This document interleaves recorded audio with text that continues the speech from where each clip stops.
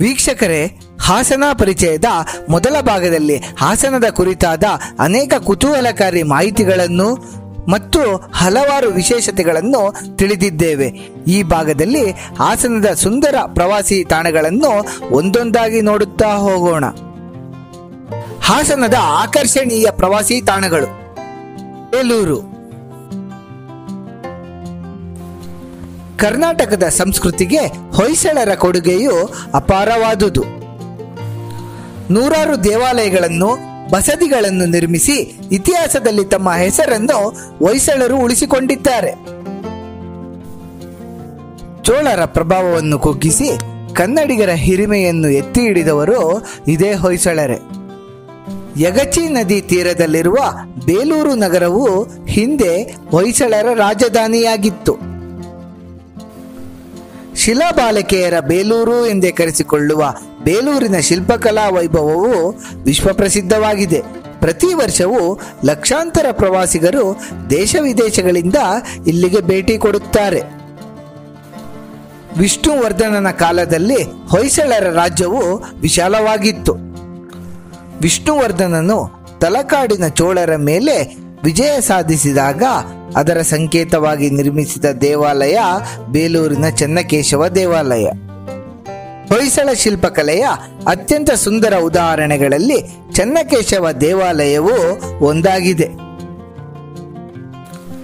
ಚೆನ್ನಕೇಶವ ದೇವಾಲಯವು ಕಲ್ಲಿನಲ್ಲಿ ಮಾಡಬಹುದಾದ ಅತ್ಯಂತ ಸೂಕ್ಷ್ಮ ಕೆತ್ತನೆಗಳ ಕಲಾ ನೈಪುಣ್ಯತೆಗೆ ಹೆಸರುವಾಸಿಯಾಗಿದೆ. ಬೇಲೂರಿನ ಶಿಲ್ಪಗಳ ನಿರ್ಮಾಣಕ್ಕಾಗಿ ಹೊಯ್ಸಳರು ಮೃದು ಬಳಪದ ಕಲ್ಲನ್ನು ಬಳಸಿದ್ದರು. ಈ ರೀತಿಯ ಶಿಲ್ಪಗಳು ಬೇರೆ ಯಾವ ದೇವಾಲಯಗಳಲ್ಲೂ ಕಾಣಸಿಗುವುದಿಲ್ಲ. ಇಲ್ಲಿನ ಶಿಲಾಬಾಲಿಕೆಯರ ಚಿತ್ರಣವು ವಿಶ್ವದಲ್ಲಿಯೇ ಅತ್ಯಂತ ಶ್ರೇಷ್ಠವಾಗಿದ್ದು ಶಿಲ್ಪಿಗಳ ಕಲಾಕೌಶಲ್ಯಕ್ಕೆ ಸಾಕ್ಷಿಯಾಗಿದೆ. ದೇವಾಲಯದ ಮುಖ್ಯ ದೇವರು ವಿಜಯನಾರಾಯಣ ಅಥವಾ ಚೆನ್ನಕೇಶವ. ಚೆನ್ನ ಎಂದರೆ ಸುಂದರ, ಕೇಶವ ಎಂದರೆ ವಿಷ್ಣು. ಅತ್ಯಂತ ಸುಂದರವಾದ ವಿಷ್ಣು ದೇವನೇ ಈ ಚೆನ್ನಕೇಶವ. ದೇವಾಲಯದ ಗರ್ಭಗೃಹವು ನಕ್ಷತ್ರಾಕಾರವಾಗಿದ್ದು, ಹಗಲಿನ ಬೇರೆ ಬೇರೆ ಹೊತ್ತಿನಲ್ಲಿ ಗರ್ಭಗೃಹದ ಅಂಕುಡಂಕಾದ ಗೋಡೆಗಳ ಮೇಲೆ ಬಿದ್ದ ಬೆಳಕು ವಿಷ್ಣುವಿನ ಇಪ್ಪತ್ನಾಲ್ಕು ರೂಪಗಳನ್ನು ಬೇರೆ ಬೇರೆಯಾಗಿ ಕಾಣುವಂತೆ ಮಾಡುತ್ತದೆ. ದೇವಾಲಯಕ್ಕೆ ಬಳಸಲಾಗಿರುವ ಒಂದೊಂದು ಕಲ್ಲು ಬರೆಯ ಬಂಡೆಯಲ್ಲ ಒಂದೊಂದು ಶಿಲ್ಪವಾಗಿದೆ. ಹೀಗಾಗಿಯೇ ಈ ದೇವಾಲಯದ ನಿರ್ಮಾಣಕ್ಕೆ ಬರೋಬ್ಬರಿ ನೂರ ಮೂರು ವರ್ಷಗಳು ಹಿಡಿದವಂತೆ.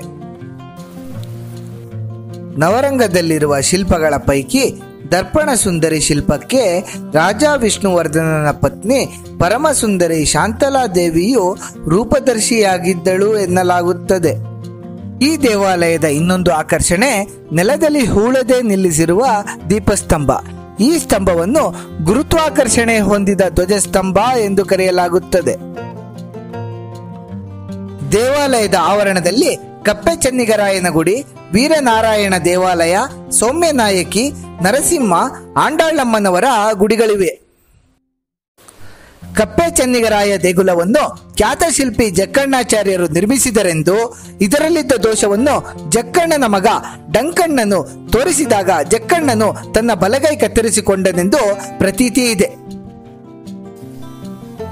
ಬೇಲೂರಿನಲ್ಲಿ ವಿಷ್ಣುವಿನ ಮೋಹಿನಿ ಅವತಾರದ ಶಿಲ್ಪ ಹೊಯ್ಸಳರ ರಾಷ್ಟ್ರ ಲಾಂಛನ, ರಾಮಾಯಣ ಮಹಾಭಾರತದಂತಹ ಪುರಾಣ ಕಥೆಗಳ ಶಿಲ್ಪಗಳು, ಪ್ರಾಣಿ, ಪಕ್ಷಿ, ಆನೆ, ಕುದುರೆಗಳ ಶಿಲ್ಪಗಳು ಹಾಗೂ ವರ್ಣರಂಜಿತ ಗೋಪುರಗಳನ್ನು ನೋಡುವುದು ಒಂದು ಅದ್ಭುತ ಅನುಭವ ನೀಡುತ್ತದೆ.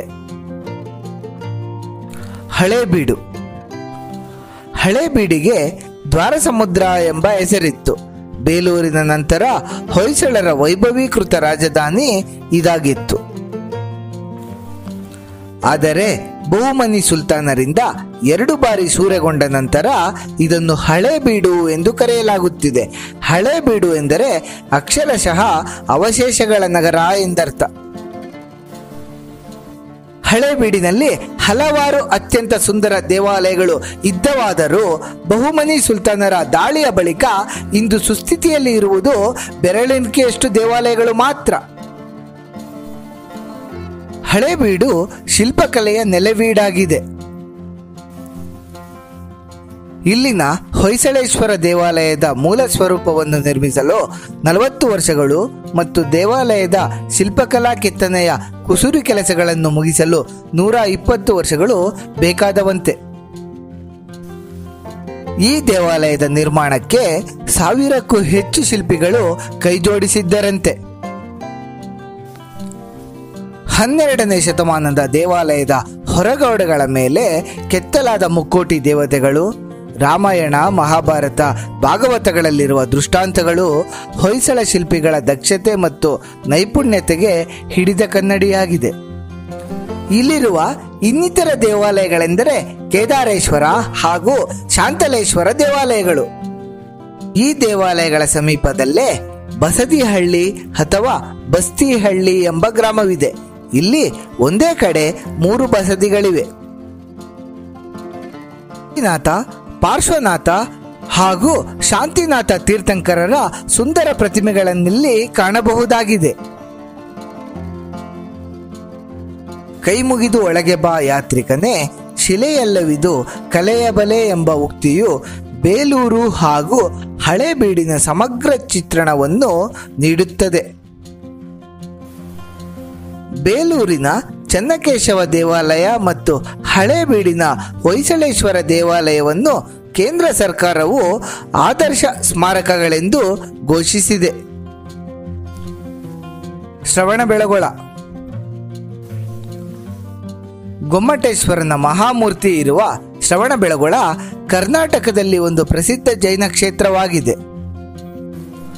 ಗಂಗ ಸಾಮ್ರಾಜ್ಯದ ಮುಖ್ಯ ಸೇನಾನಿಯಾದ ಚಾವುಂಡರಾಯನು ಕ್ರಿಸ್ತಶಕ ಒಂಬೈನೂರ ಎಂಬತ್ತೊಂದರಲ್ಲಿ ಧ್ಯಾನ ನಿರತನಾದ ಐವತ್ತೆಂಟು ಅಡಿ ಎತ್ತರದ ಬೃಹತ್ ಬಾಹುಬಲಿಯ ಮೂರ್ತಿಯನ್ನು ಶ್ರವಣಬೆಳಗೊಳದ ವಿಂಧ್ಯಗಿರಿ ಬೆಟ್ಟದ ಮೇಲೆ ಕೆತ್ತಿಸಿದ್ದಾನೆ. ಇದು ಏಷ್ಯಾ ಖಂಡದಲ್ಲೇ ಅತಿ ಎತ್ತರದ ಏಕಶಿಲಾ ವಿಗ್ರಹವೆಂಬ ಹೆಗ್ಗಳಿಕೆಗೆ ಪಾತ್ರವಾಗಿದೆ. ಈ ಮೂರ್ತಿಯ ಶಿಲ್ಪವು ಅನುಪಮ ಕೌಶಲ್ಯ ಮತ್ತು ಶಿಲೆಗಳ ಜ್ಞಾನಕ್ಕೆ ಸಾಕ್ಷಿಯಾಗಿದೆ. ವಿಂಧ್ಯಗಿರಿಯ ಎದುರಿಗಿರುವ ಸ್ವಲ್ಪ ಚಿಕ್ಕದಾದ ಚಂದ್ರಗಿರಿ ಬೆಟ್ಟದಲ್ಲಿ ಕೆಲವು ಜೈನ ದೇವಸ್ಥಾನಗಳು ಹಾಗೂ ಜೈನ ಧರ್ಮದ ಪ್ರಸಿದ್ಧ ಪೋಷಕನಾದ ಚಂದ್ರಗುಪ್ತ ಮೌರ್ಯನ ಸಮಾಧಿಗಳನ್ನು ಕಾಣಬಹುದಾಗಿದೆ. ಗಿರಿಯ ಬುಡದಲ್ಲಿ ರಮಣೀಯವಾದ ಸರೋವರವಿದೆ. ಇದನ್ನು ಬೆಳಕೊಳ ಎಂದು ಕರೆಯುತ್ತಾರೆ. ಇಲ್ಲಿ ಹನ್ನೆರಡು ವರ್ಷಗಳಿಗೊಮ್ಮೆ ನಡೆಯುವ ಮಹಾಮಸ್ತಕಾಭಿಷೇಕದ ಸಂದರ್ಭದಲ್ಲಿ ಲೋಕದ ಹಂಗನ್ನು ತೊರೆದು ವೈರಾಗಿಯಾಗಿ ನಿಂತಿರುವ ಗೊಮ್ಮಟೇಶ್ವರನ ವಿಗ್ರಹಕ್ಕೆ ಎಳನೀರು, ಬೆಲ್ಲ, ಬಾಳೆಹಣ್ಣು, ತುಪ್ಪ, ಸಕ್ಕರೆ, ಬಾದಾಮಿ, ಖರ್ಜೂರ, ಮೊಸರು, ಬಂಗಾರ ಮತ್ತು ಬೆಳ್ಳಿಯ ಹೂಗಳಿಂದ ಮಾಡುವ ಅಭಿಷೇಕವನ್ನು ನೋಡುವುದು ಒಂದು ಅವಿಸ್ಮರಣೀಯ ಅನುಭವ ನೀಡುತ್ತದೆ. ಗೋರೂರು ಅಣೆಕಟ್ಟು ಮತ್ತು ಗೋರೂರು ಯೋಗ ನರಸಿಂಹಸ್ವಾಮಿ ದೇವಾಲಯ. ಕಾವೇರಿ ನದಿಯ ಉಪನದಿಯಾದ ಹೇಮಾವತಿ ನದಿಗೆ ಹಾಸನದ ಅರಕಲುಗೂಡಿನ ಸಮೀಪದ ಗೋರೂರು ಎಂಬಲ್ಲಿ ಅಣೆಕಟ್ಟನ್ನು ನಿರ್ಮಿಸಲಾಗಿದೆ. ಮಳೆಗಾಲದಲ್ಲಿ ಜಲಾಶಯದ ಗೇಟುಗಳನ್ನು ತೆರೆದಾಗ ದುಮ್ಮಿಕ್ಕಿ ಹಾಲ್ನೊರೆಯಂತೆ ಹರಿಯುವ ಹೇಮಾವತಿಯನ್ನು ನೋಡಲು ರುದ್ರರಮಣೀಯವಾಗಿರುತ್ತದೆ. ಅಣೆಕಟ್ಟಿನ ಬದಿಯಲ್ಲಿ ಹಸಿರು ಹುಲ್ಲನ್ನು ಹೊದ್ದಿರುವಂತೆ ಕಾಣುವ ಮನೋಹರವಾದ ಹೂದೋಟವು ಮೈಮನಗಳಿಗೆ ಮುದ ನೀಡುತ್ತದೆ. ಪದ್ಮಾವತಿ ಅಣೆಕಟ್ಟಿನ ಸಮೀಪದಲ್ಲೇ ಶ್ರೀ ಯೋಗ ನರಸಿಂಹ ದೇವಾಲಯವಿದೆ. ಹಿಂದೆ ಗೋಕರ್ಣಪುರಿ ಎಂದು ಕರೆಸಿಕೊಳ್ಳುತ್ತಿದ್ದ ಈ ಕ್ಷೇತ್ರದಲ್ಲಿ ಗೋಕರ್ಣ ಋಷಿಗಳು ತಪಸ್ಸು ಮಾಡುತ್ತಿದ್ದಾಗ ಶ್ರೀ ಯೋಗ ನರಸಿಂಹ ಸ್ವಾಮಿಯು ಪ್ರತ್ಯಕ್ಷರಾದರು ಎನ್ನಲಾಗುತ್ತದೆ. ಆದ್ದರಿಂದಲೇ ಇಲ್ಲಿ ಸ್ವಯಂ ಉದ್ಭವವಾದ ಯೋಗ ನರಸಿಂಹ ಸ್ವಾಮಿಯ ಮೂರ್ತಿ ಇದೆ. ರಥಸಪ್ತಮಿಯ ದಿನದಂದು ಯೋಗ ನರಸಿಂಹ ಸ್ವಾಮಿಯ ದಿವ್ಯ ರಥೋತ್ಸವ ಇಲ್ಲಿ ನಡೆಯುತ್ತದೆ. ಮಂಜರಾಬಾದ್ ಕೋಟೆ. ಹಾಸನದ ಸಕಲೇಶಪುರದಿಂದ ಕೇವಲ ಐದು ಕಿಲೋಮೀಟರ್ ದೂರದಲ್ಲಿರುವ ದೋಣಿಗಾಲ್ ಎಂಬ ಗ್ರಾಮದಲ್ಲಿ ಸಣ್ಣ ಗುಡ್ಡವೊಂದರ ಮೇಲೆ ನಕ್ಷತ್ರಾಕಾರದ ಕೋಟೆ ಇದೆ. ಈ ಸುಂದರ ಕೋಟೆಯನ್ನು ಟಿಪ್ಪು ಸುಲ್ತಾನರು ನಿರ್ಮಾಣ ಮಾಡಿದ್ದಾರೆ. ಟಿಪ್ಪು ಸುಲ್ತಾನರು ಈ ಕೋಟೆಯಿಂದ ಮಂಜು ತುಂಬಿದ ಪ್ರಕೃತಿ ಸೌಂದರ್ಯವನ್ನು ನೋಡಿ ಬೆರಗಾದರೆಂದು ಆ ಕಾರಣದಿಂದ ಕೋಟೆಗೆ ಮಂಜರಾಬಾದ್ ಕೋಟೆ ಎಂಬ ಹೆಸರು ಬಂತೆಂದು ಹೇಳಲಾಗುತ್ತದೆ.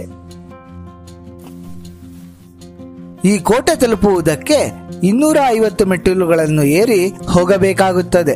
ಸುಮಾರು ಐದು ಎಕರೆ ಪ್ರದೇಶದಲ್ಲಿ ಎಂಟು ಕೋನಗಳ ನಕ್ಷತ್ರಾಕಾರದಲ್ಲಿ ಈ ಕೋಟೆ ನಿರ್ಮಾಣಗೊಂಡಿದೆ. ಕೋಟೆಯ ಮಧ್ಯಭಾಗದಲ್ಲಿ ಒಂದು ನೀರಿನ ಕೊಳ, ಮದ್ದುಗುಂಡು ಸಂಗ್ರಹಿಸುವ ಜಾಗ, ಸ್ನಾನದ ಗೃಹ, ಶಯನ ಗೃಹ ಹಾಗೂ ಅಲ್ಲಲ್ಲಿ ಸುರಂಗ ಮಾರ್ಗಗಳನ್ನು ಕಾಣಬಹುದಾಗಿದೆ. ಹಾಸನಾಂಬ ದೇವಾಲಯ. ಹಾಸನದ ಅಧಿದೇವತೆಯಾದ ಹಾಸನಾಂಬ ದೇವಾಲಯದ ವಿಶೇಷವೆಂದರೆ ಈ ದೇವಾಲಯದ ಬಾಗಿಲು ವರ್ಷದಲ್ಲಿ ಕೇವಲ ಹದಿನಾರು ದಿನಗಳು ಮಾತ್ರ ತೆರೆದಿರುತ್ತದೆ.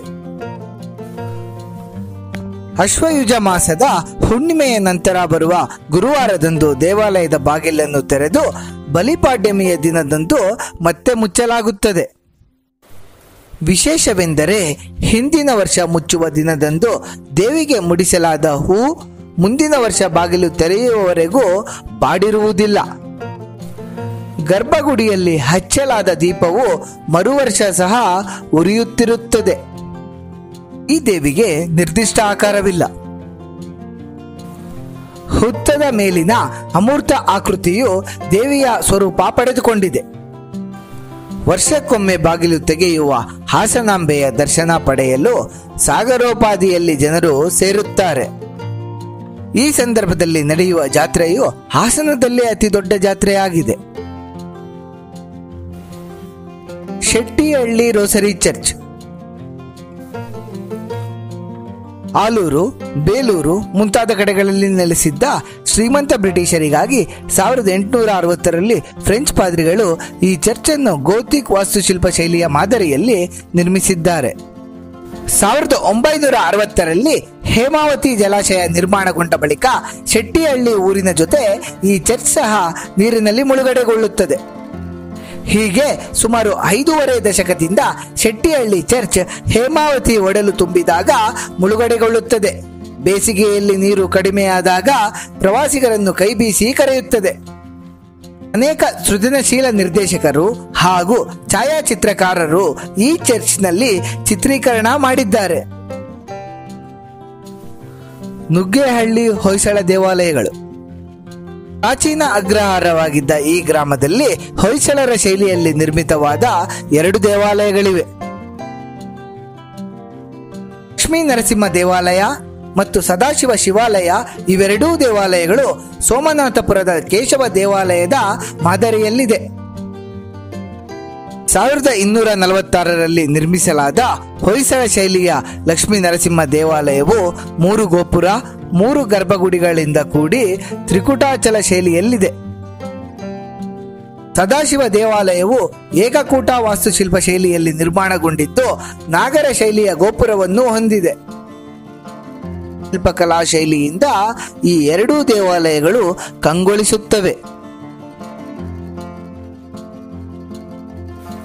ಬಿಸಿಲೆ ಘಾಟ್ ಈ ತಾಣವು ಪಶ್ಚಿಮ ಘಟ್ಟದ ಅರಣ್ಯದ ಸುಂದರ ನೋಟವನ್ನು ಪ್ರವಾಸಿಗರಿಗೆ ಉಣಬಡಿಸುತ್ತದೆ.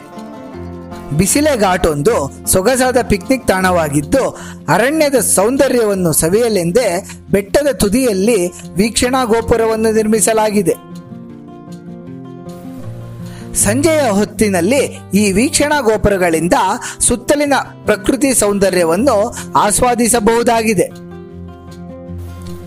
ಅದೃಷ್ಟವಿದ್ದರೆ ಕಾಡು ಪ್ರಾಣಿಗಳ ಗುಂಪನ್ನು ಸಹ ಇಲ್ಲಿ ನೋಡಬಹುದಾಗಿದೆ. ಚಾರಣ ಪ್ರಿಯರಿಗೆ ಬಿಸಿಲೆ ಘಾಟ್ ಸ್ಫೂರ್ತಿಯ ತಾಣವಾಗಿದೆ. ಮೊಸಳೆಯ ನಾಗೇಶ್ವರ ಮತ್ತು ಚನ್ನಕೇಶ್ವರ ದೇವರ ಅವಳಿ ದೇವಾಲಯಗಳು. ಪುರಾಣದ ಪ್ರಕಾರ ಈ ಸ್ಥಳದಲ್ಲಿ ಪ್ರಾಚೀನ ಕಾಲದಲ್ಲಿ ಜಮದಗ್ನಿ ಮಹರ್ಷಿಗಳು ವಾಸವಾಗಿದ್ದರಂತೆ. ಈ ಗ್ರಾಮದ ಪ್ರಾಚೀನ ಹೆಸರು ಮುಸಲ ಎಂದರೆ ಕುಟ್ಟಾಣಿ ಎಂದಾಗಿತ್ತಂತೆ. ಈ ಗ್ರಾಮದಲ್ಲಿ ಹರಿಹರರಲ್ಲಿ ಯಾವುದೇ ಭೇದವಿಲ್ಲ ಎಂದು ನಿರೂಪಿಸುವಂತೆ ಚನ್ನಕೇಶ್ವರ ದೇವಾಲಯ ಮತ್ತು ನಾಗೇಶ್ವರ ದೇವಾಲಯಗಳೆಂಬ ವೈಷ್ಣವ ಹಾಗೂ ಶೈವ ದೇವಾಲಯಗಳು ಒಂದೇ ಆವರಣದಲ್ಲಿ ಅಕ್ಕಪಕ್ಕದಲ್ಲಿ ನಿರ್ಮಿತಗೊಂಡಿರುವುದು ವಿಶೇಷವಾಗಿದೆ. ಏಕಕೂಟ ಶೈಲಿಯಲ್ಲಿರುವ ಈ ದೇವಾಲಯಗಳು ಹನ್ನೆರಡನೇ ಶತಮಾನದ ಹೊಯ್ಸಳ ವಾಸ್ತುಶಿಲ್ಪಕ್ಕೆ ಅತ್ಯುತ್ತಮ ಉದಾಹರಣೆಯಾಗಿದೆ. ಎರಡೂ ದೇವಾಲಯಗಳಲ್ಲಿ ಹೊಯ್ಸಳರ ಮೂಲ ಪುರುಷ ಸಳ ಹುಲಿಯನ್ನು ಸಂಹರಿಸುತ್ತಿರುವ ಲಾಂಛನಗಳಿವೆ. ಎರಡೂ ದೇವಾಲಯಗಳು ಕಲಾತ್ಮಕ ಸೂಕ್ಷ್ಮ ಹೊಯ್ಸಳ ಶೈಲಿಯ ಕೆತ್ತನೆಗಳಿಂದ ಕೂಡಿದೆ. ನಾಗೇಶ್ವರ ದೇವಾಲಯದ ಶಿಖರದಲ್ಲಿ ಶಿವನ ವಿವಿಧ ರೂಪದ ಶಿಲ್ಪಗಳನ್ನು ಕೆತ್ತಲಾದರೆ ಚನ್ನಕೇಶವ ದೇವಾಲಯದಲ್ಲಿ ವಿಷ್ಣುವಿನ ವಿವಿಧ ರೂಪದ ಶಿಲ್ಪಗಳನ್ನು ಕೆತ್ತಲಾಗಿದೆ. ನಾಗೇಶ್ವರ ದೇವಾಲಯದ ಮನ್ಮಥರತಿಯ ಶಿಲ್ಪ ಗಮನಾರ್ಹವಾಗಿದೆ. ಹಾಸನದ ಇತರೆ ಪ್ರವಾಸಿ ತಾಣಗಳು ಯಾವಗಲ್ ಲಕ್ಷ್ಮೀ ನರಸಿಂಹ ದೇವಾಲಯ? ದೊಡ್ಡಗದ್ದುವಳ್ಳಿ ಲಕ್ಷ್ಮೀ ದೇವಾಲಯ. ಜೇನುಗಲ್ಲು ಸಿದ್ದೇಶ್ವರ ಬೆಟ್ಟ. ಅರಸೀಕೆರೆಯ ಶಿವಾಲಯ. ಕೋರವಂಗಲದ ನಾಗೇಶ್ವರ ಮತ್ತು ಭೂಚೇಶ್ವರ ದೇವಾಲಯ. ಅಮನಾಥಪುರದ ದೇವಾಲಯಗಳು. ಹುಲಿಕೆರೆಯ ಶಾಂತಲೆಯ ಕೊಳ.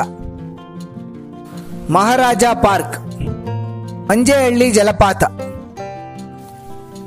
ಸಕಲೇಶ್ವರ ಸ್ವಾಮಿ ದೇವಸ್ಥಾನ.